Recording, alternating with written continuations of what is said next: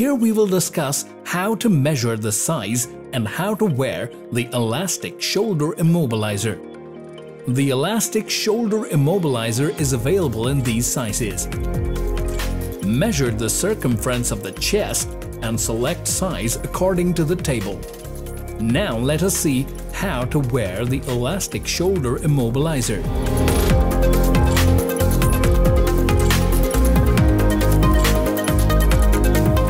Open the elastic shoulder immobilizer.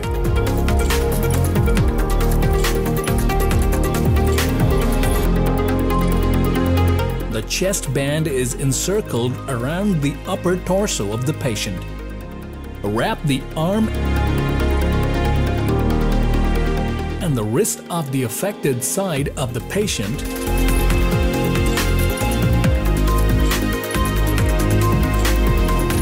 Position shoulder cap on the affected shoulder. Fasten the hook loop closures. Now let us see how to remove the elastic shoulder immobilizer. Unfasten the fasteners to easily remove.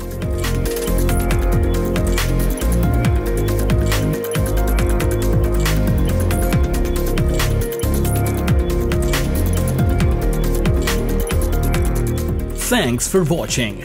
If the video was helpful, please hit the like button and subscribe to our channel.